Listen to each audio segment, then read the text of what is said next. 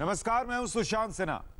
Chinese virus पूरी दुनिया में कहर ढा रहा है और हिंदुस्तान में भी इसने कोहराम मचा रखा है। कोरोना हर दिन के साथ देश में नया रिकॉर्ड बना रहा है। दस शहरों के आंकड़े बेहद डराने वाले आपको नज़र आएँगे, जब मैं आपको दिखाऊँगा।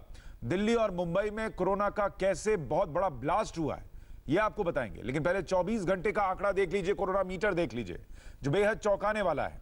बीते 24 घंटे में कोरोना के नौ हज़ार आठ सौ इक्यावन नए केसेस सामने आ गए हैं। यानी करीब करीब अब हम मान के चलिए कि हम दस हज़ार केस पर डे के करीब पहुँच रहे हैं। और ये बहुत डरावना आंकड़ा आंकड़ा है क्योंकि पहले आप देखिए केसेस आते थे 100, 200, 500, 600 करते करते 2000 रोज आने लगे फिर 4000 फिर 5000 और अब हम 10000 के आंकड़े के करीब पहुँच गए हैं। तो आप अंदाज़ा लगाइए कि स्थिति क्या से क्या होती जा रही है। कोरोना का मीटर कुल केसेस का दो लाख छब्बीस हज़ार के पार चला गया है। सबसे परेशान करने वाली तस्वीर इस वक्त महाराष्ट्र और दिल्ली की है, जहाँ कोरोना का कांटा हर दिन के साथ स्पीड पकड़ता जा रहा है। तो आपको आंकड़े दिखाता हूँ। यह पहले पूरे भारत की तस्वीर देख लीजिए।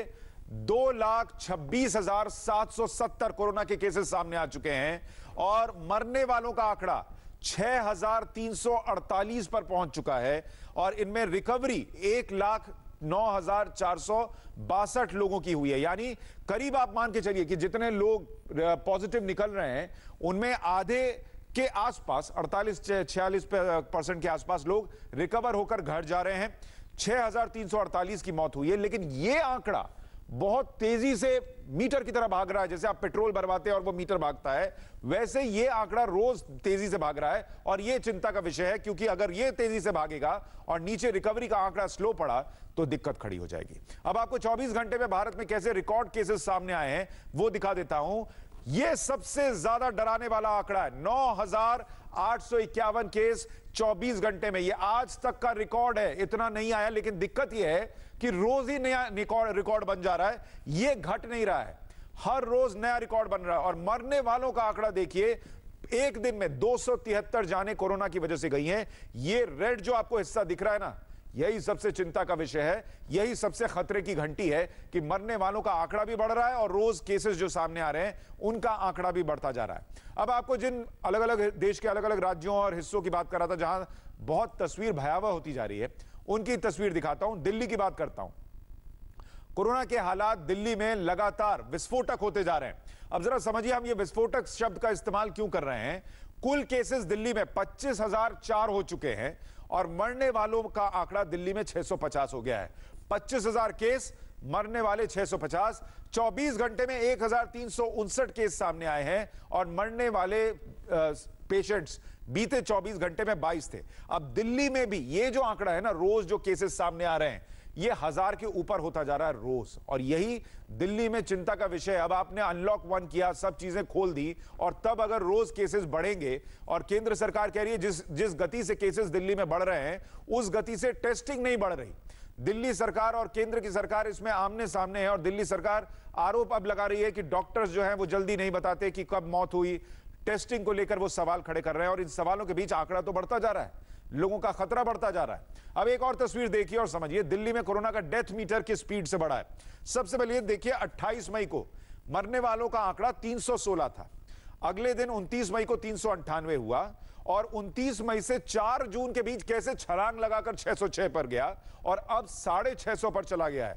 यानी अगर आप देखेंगे 28 मई से 4 जून करीब करीब एक हफ़्ते का वक्त है एक हफ़्ते में 316 केस से बढ़ते बढ़ते ये ग्राफ 650 पर गया। यानी बिल्कुल हिमालय की चोटी को छूने की तरफ़ ऊपर बढ़ता जा रहा है और इसमें कहीं डिक्लाइन नहीं है। यहाँ उठा, फिर यहाँ उठा, फिर और ऊपर गया और और ऊपर जा रहा है। यानी लगातार दिल्ली में केसेस बढ़ रहे हैं, मरने वालों का आंकड़ा भी बढ़ रहा है और हफ़्ते भर में 316 से साढ़े छह लोगों की जान चली जाए। यानी करीब डबल हो जाए फिगर, या डबल से थोड़ा कम, या डबल से ज़्यादा ही है तो फिर सवाल तो उठेगा कि भाई ये क्यों हो रहा है? और वो तब जब कहा जा रहा है कि सारी व्यवस्था कर दी है, हॉस्पिटल्स तैयार है।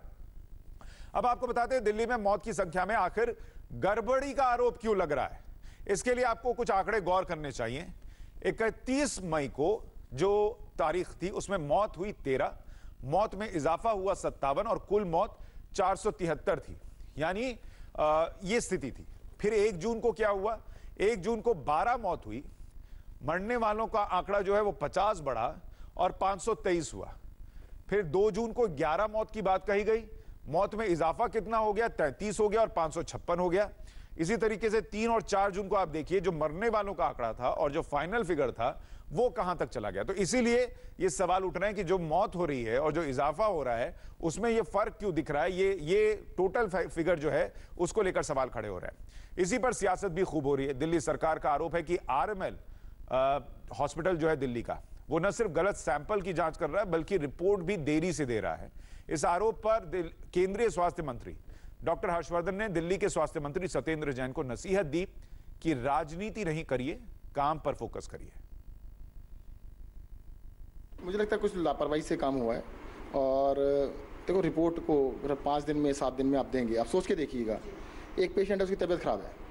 उसने सैंपल दिया टेस्ट के लिए अब वो कोरोना हॉस्पिटल में जाते हैं तो हॉस्पिटल कहते हैं, नहीं, आपकी तो रिपोर्ट अभी नहीं आई है, कहीं ऐसा ना हो कि आप नेगेटिव हों और हमारे अस्पताल में रह के आपको कोरोना लग जाए।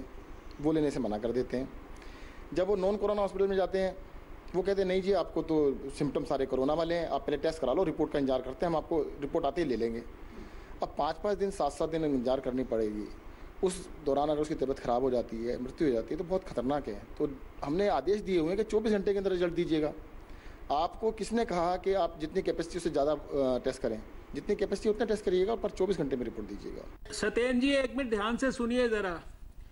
एक टेस्टिंग की लेबॉर्ट्री से 710 लेबॉर्ट्रीज हमने क्रिएट की हैं। एक दिन में एक लाख चालीस हज़ार टेस्ट हम क्रिएट कर रहे हैं। और आज भी दिल्ली में जो हमने, जो डीएसटी के अंदर बायोटेक्नोलॉजी में लैब्स क्रिएट किए, वहाँ पर आज भी सैंपल्स नहीं पहुँच रहे हैं। तो जो जो सिस्टम के अंदर जो जो चीज़ें क्रिएटेड हैं, आपको और लैब्स खोलनी है, आप खोल लीजिए, हम उसके लिए सपोर्ट करेंगे आपको, ऐसा नहीं है। बट डोंट ब्लेम जो इंस्टीट्यूशनलाइज्ड मैकेनिज्म्स हैं रिप्यूटेड मैकेनिज्म्स हैं, और आप जो जो पैथोलॉजिस्ट जो टेस्ट करते हैं they are all highly qualified people कोई किसी पॉजिटिव को नेगेटिव कहने का आपको कोई अधिकार नहीं है, किसी नेगेटिव को पॉजिटिव कहने का कोई अधिकार आपको नहीं है। इसलिए we don't want to get into these controversies ये किस तरीके से राजनीति हो रही है, उसको लेकर भी सवाल खड़ा होता है और क्यों ये स्थिति बने कि दो, एक केंद्रीय स्वास्थ्य मंत्री और एक दिल्ली के स्वास्थ्य मंत्री को इस तरीके से चर्चा करनी पड़ जाए, ये भी सवाल खड़ा होता है। अगर आप दिल्ली में कोरोना के डेंजरस मीटर को देखकर डर गए, परेशान हो गए तो मुंबई का कोरोना ग्राफ भी आपको देखना चाहिए। वो तो इससे भी ज़्यादा भयावह लग रहा है। मुंबई में कोरोना के केसेस चौवालीस हज़ार के पार चले गए हैं। चौवालीस हज़ार सात सौ चार केसेस मुंबई में सामने आ चुके हैं और मरने वालों का आंकड़ा एक हज़ार चार सौ पैंसठ है मुंबई मुंबई में। 24 घंटे में मुंबई में एक हज़ार चार सौ बयालीस नए केस सामने आ गए और बीते 24 घंटे में हर घंटे दो लोगों की मौत हुई है यह मानकर चलिए मुंबई में। तो मुंबई के आंकड़े आपको जरा स्क्रीन पर दिखाता हूँ, आपको समझ में आएगा कि क्यों हम कह रहे हैं मुंबई सबसे खतरनाक स्थिति में इस वक्त फंसा हुआ है। कुल केसेस देखिए, चौवालीस हज़ार सात सौ चार हो चुके हैं। कुल मरने वालों का आंकड़ा अकेले मुंबई का बता रहा हूँ, ये पूरे राज्य का नहीं बता रहा हूँ, पूरे सिर्फ़ मुंबई में एक हज़ार चार सौ पैंसठ लोगों की जान कोरोना की वजह से गई है। 24 घंटे में 1442 केस मुंबई में सामने आए हैं और 48 लोगों की मौत हुई है, यानी हर घंटे दो लोगों की जान कोरोना की वजह से मुंबई में जा रही है। यह हालत है उस मुंबई में, जहाँ ये ये जो आंकड़ा आप देख रहे हैं, ये कम होने का नाम, धीमा होने का नाम नहीं ले रहा। ये आंकड़ा रुक जाए ये नहीं हो रहा। 24 घंटे में केसेस लगातार सामने आ रहे हैं। कोरोना का ब्लास्ट मुंबई में कैसे हुआ इसको अगर आप देखेंगे 30 मई को 38,212 केस फिर ऊपर गया उनतालीस हो गया 31 मई को। चालीस हो गया एक जून को। दो जून आते आते इकतालीस तैतालीस हज़ार दो सौ बासठ हो गया तीन जून को और चौवालीस हज़ार सात सौ चार। मतलब अगर आप इस ग्राफ को देखेंगे ए, एक कोई भी व्यक्ति जो मुंबई में रहता होगा, वो क्या चाहेगा? कि अगर ग्राफ ऊपर गया, कहीं तो नीचे आए, कहीं तो नीचे आई, लेकिन अगर आप इस पूरे ग्राफ को देखेंगे, नीचे आने का सवाल ही नहीं है। अड़तीस हज़ार से शुरू होकर उनतालीस, चालीस, इकतालीस, तैतालीस और चौवालीस पर पहुँच गया है। अब यह तस्वीर कोई भी मुंबई में रहने वाला देखेगा तो उसको डर लगेगा ही। और अगर मुंबई की बात कीजिएगा तो पूरे देश में केसेस बढ़ते हैं। अगर ज़्यादा कॉन्ट्रीब्यूशन मुंबई का है तो देश के लिए भी चिंता बढ़ती है कि वहाँ क्यों ये हालात बन रहे हैं। ये बार बार हो रहा है। अब आपको मौत का ग्राफ दिखाता हूँ मुंबई में कैसे मौत का ग्राफ बढ़ा है। ये देखिए 30 जून को एक हज़ार दो सौ सत्ताईस मौतें हुई थी 31 मई को फिर बढ़ा, एक हज़ार हुआ 1319 1368 हो गया और 1417 हो गया। अब इसमें यह तो नहीं हो सकता था कि मरने वालों का आंकड़ा नीचे आ जाएगा यह तो नहीं हो सकता, लेकिन यह ज़रूर हो सकता था कि ये ये ग्राफ जो स्टेडली ऊपर जा रहा है वो अगर थोड़ा नीचे आता, इसकी रफ्तार कम हो जाती, थोड़े मौत कम होती तो लोगों को थोड़ी शांति मिलती कि भाई, कुछ कुछ तो कंट्रोल हो रहा होगा, कुछ तो ऐसा हो रहा होगा, व्यवस्थाएँ बेहतर हो रही होंगी। लेकिन वो भी होता मुंबई में नहीं दिख रहा है।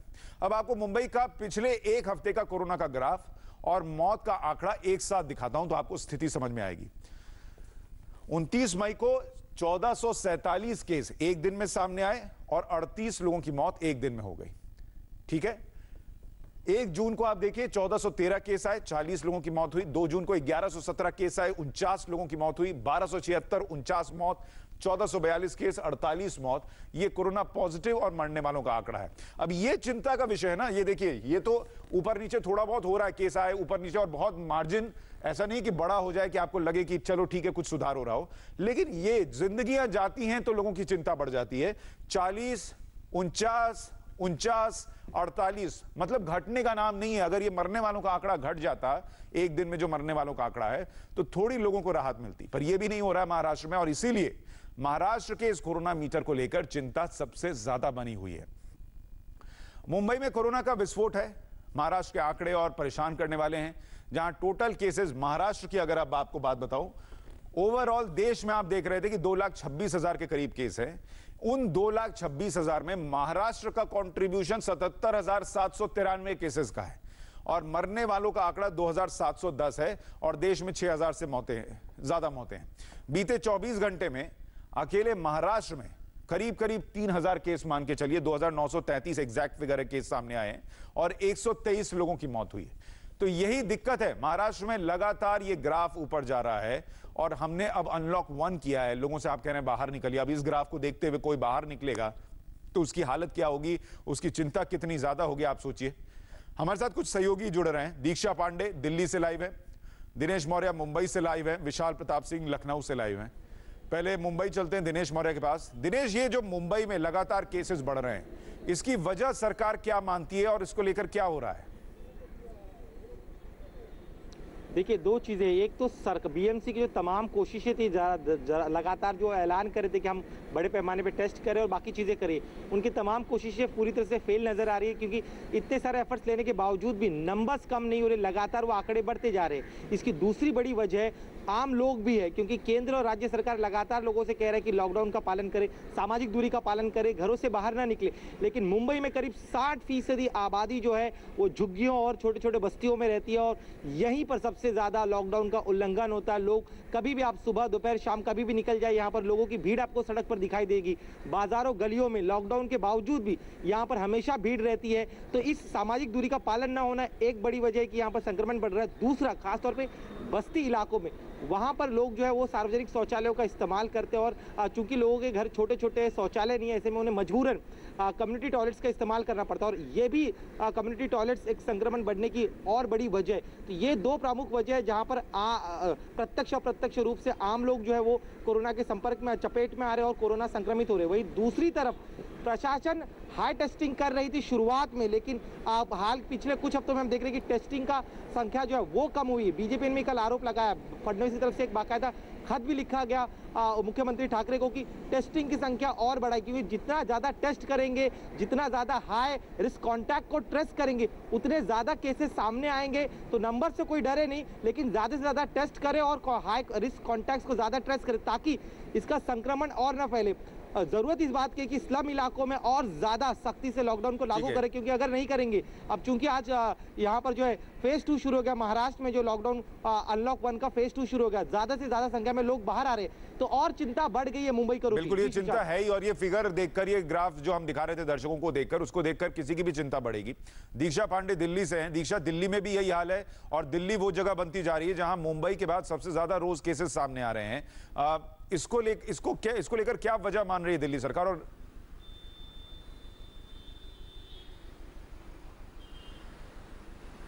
सुशांत अभी जो दिल्ली की तस्वीर है मौजूदा तस्वीर वो ज़्यादा डराने वाली है और साथ ही असुरक्षा अब ज़्यादा बढ़ गया है। सड़कों पर बेतहाशा गाड़ियाँ चल रही हैं लोग जगह जगह पर खड़े होकर चौपाल लगा रहे हैं। मामला पच्चीस हज़ार से ज़्यादा बढ़ चुका है और साथ ही चौबीस घंटे में बाईस मौत के साथ अब छः सौ पचास पूरा मौत का आंकड़ा हो चुका है। लेकिन आ, इसकी वजह जो समझा जाए वो ये कि तैयारियाँ सरकार और प्रशासन की ज़रूर बढ़ी हैं लेकिन सावधानियाँ काफ़ी ज़्यादा घट गई हैं। अगर हम देखें पहले जिस तरह से कोरोना का कोई भी मामला सामने आता था तो उसके संपर्क को ट्रेस किया जाता था, उन्हें क्वारंटाइन किया जाता था और बाकायदा इलाज की, इलाज पर काम किया जा रहा था। लेकिन कल मैं जब जीटीबी अस्पताल का मैंने दौरा किया, वहाँ पर पता चला कि तमाम ऐसे परिजन जो है अस्पताल के बाहर बैठे हुए हैं, जो खुद अपने कोरोना पेशेंट को जगह जगह अस्पतालों में भटक भटक कर जब वो फाइनली जीटीबी अस्पताल पहुँचे हैं तो वो खुद बाहर बैठे हुए हैं। वो डायरेक्ट संपर्क में आए हैं, उनका कोई टेस्ट नहीं हुआ है और ऐसी ही तस्वीर जगह जगह पर देखने को मिल रही है। सियासत चल रही है, आरोप प्रत्यारोप चल रहा है टेस्टिंग को लेकर, लेकिन सरकार जो है अब अपनी जो टेस्टिंग पॉलिसी है, उसमें भी उसने चेंज लाया है। उसका ये कहना है कि अब जो लोग अंतर्राष्ट्रीय यात्रा से वापस आ रहे हैं उनका जो, अगर उनमें कोई लक्षण देखेगा, तभी टेस्ट किया जाएगा। आप देख ही रहे हैं कि यहाँ पर जिस तरह से आरोप प्रत्यारोप चल रहा है तो इसके परे जाकर काम करना बहुत ज़रूरी है। सही बात है। और देखिए मुख्यमंत्री अरविंद केजरीवाल खुद ये बार बार कहते थे कि 70 परसेंट अस्सी परसेंट केसेस ऐसे हैं जो एसिम्टोमेटिक हैं जिनमें लक्षण नहीं है। और अब आप टेस्टिंग उनकी कर रहे हैं जिनमें लक्षण दिखेगा। फिर तो कोरोना को आप कैसे पकड़ेंगे? आप, आप वो आपसे दो कदम आगे ही रहेगा। इसको लेकर सवाल तो उठेंगे। हम एक छोटे से ब्रेक ले रुक रहे हैं। विशाल के पास भी जाएँगे। लखनऊ के को लेकर भी बात करेंगे। इसके अलावा यूपी और गुजरात के किस शहर की रिपोर्ट डराने वाली है, वो भी आपको बताएँगे इस छोटे से ब्रेक के बाद। और शहर अहमदाबाद की। अहमदाबाद में टोटल केस बढ़कर तेरह हज़ार के पार चले गए हैं और मौत का आंकड़ा 938 हो गया है। तो ये अहमदाबाद की स्थिति है। तेरह हज़ार तीन सौ चौवन केसेस और मरने वालों का आंकड़ा 938 बीते 24 घंटे में अहमदाबाद में दो सौ इक्यानवे केस आए हैं और मरने वालों का आंकड़ा 28 पर है। अब आपको ओवरऑल गुजरात की तस्वीर दिखाता हूँ ये सिर्फ़ अहमदाबाद की बात हुई। अब गुजरात का हाल देखिए। गुजरात में 18,601 केस सामने आ चुके हैं। मरने वालों का आंकड़ा यहाँ पर भी डरावना है। 1,122 लोगों की मौत गुजरात में हुई है। बीते 24 घंटे में क्या हुआ? चार सौ बानवे केसेस आए हैं और मरने वालों का आंकड़ा 33 है। अब आप दिल्ली और मुंबई से कंपेयर कीजिएगा तो 1100, 1200, 1300 केसेस के सामने चार सौ बानवे छोटा आंकड़ा लग सकता है। लेकिन ये चार भी क्यों है, ये सवाल पूछना है, क्योंकि हमें तो इस कर्व को, इस ग्राफ को नीचे लाना है। दिल्ली एनसीआर पूरी तरह कोरोना के फंदे में फंसा हुआ है। दिल्ली के आंकड़े डरावने हैं, ये हमने आपको दिखाया। अब गुरुग्राम का स्पीडोमीटर दिखा देता हूँ, जिसे हम गुड़गांव कहते हैं। गुरुग्राम में 1410 केसेस सामने आ चुके हैं और नए केसेस 215 हैं इसमें से, और गुरुग्राम का बार बार तर्क ये है, वहाँ के मुख्यमंत्री का तर्क ये है, हरियाणा के मुख्यमंत्री का, कि दिल्ली से केसेस आ रहे थे। अब दिल्ली से केसेस आ रहे हैं और 215 अगर रोज आ रहे हैं तो इसका इलाज क्या है, उपाय क्या है, ये भी तो समझना होगा और ढूंढना होगा। वहीं लखनऊ में कोरोना की रफ्तार भी कम होने का नाम नहीं ले रही, लखनऊ में टोटल 423 केस हैं, और बीते 24 घंटे में 14 नए केस आए। टोटल केस 423 लखनऊ में, और नए केस चौदह सामने आए हैं, लखनऊ की अगर हम बात करें। अब अगर आप दूसरे ऐसे बड़े शहरों से, राजधानियों से कंपेयर करेंगे तो लखनऊ में स्थिति कम दिखती है, लेकिन ये भी रोकना है। इसलिए हम ये ज़रूर पूछेंगे कि ये स्थिति क्यों है। उस उत्तर प्रदेश में जहाँ केसेस कम हैं तो लखनऊ में चौदह एक बार में कैसे आ रहे हैं? विशाल प्रताप सिंह हमारे साथ बने हुए हैं। आपके पास आऊँ विशाल? उससे पहले नोएडा की तस्वीर भी दिखा देता हूँ। लखनऊ की बात हो गई। नोएडा का हाल आपके सामने ग्राफिक्स में रखता हूँ। यहाँ कुल केसेस जो अब तक सामने आए, वो पाँच है और 31 नए केस सामने आ गए तो लखनऊ और नोएडा दोनों ही जगह नए केसेस सामने आ रहे हैं। ये एक चिंता का विषय है और ये उस उत्तर प्रदेश में है जहाँ पर ये ध्यान रखिए कि लगातार टेस्टिंग बढ़ाई जा रही है। मुख्यमंत्री ये कह रहे थे कि हम टेस्टिंग बढ़ा रहे हैं, हम वहाँ पर लोगों की जाँच बढ़ा रहे हैं। अभी दस हज़ार, पंद्रह हज़ार तक है और महीना खत्म होते होते तीस हज़ार टेस्ट रोज कर पाएँगे। तो टेस्टिंग बढ़ रही है, ये अच्छी बात है, लेकिन ये जो केसेस बढ़ रहे हैं, इनको भी रोकना होगा। मैं मानता हूँ कि दूसरे शहरों के मुकाबले ये केसेस कम है, बहुत कम है, लेकिन इनको भी हमें ज़ीरो पर लाना है। हमारा टारगेट ये होना चाहिए कि ये कम से कम हो सके और खत्म हो सके। हर एक इलाके को धीरे धीरे हम ग्रीन जोन में तब्दील कर सके, इसलिए सवाल पूछे जाएँगे। फ़िलहाल हम एक छोटे से ब्रेक ले रुक रहे हैं। ब्रेक के उस पर आपको दिखाएँगे इमरान के जासूसी नेटवर्क का नया sting operation tape direct Islamabad से।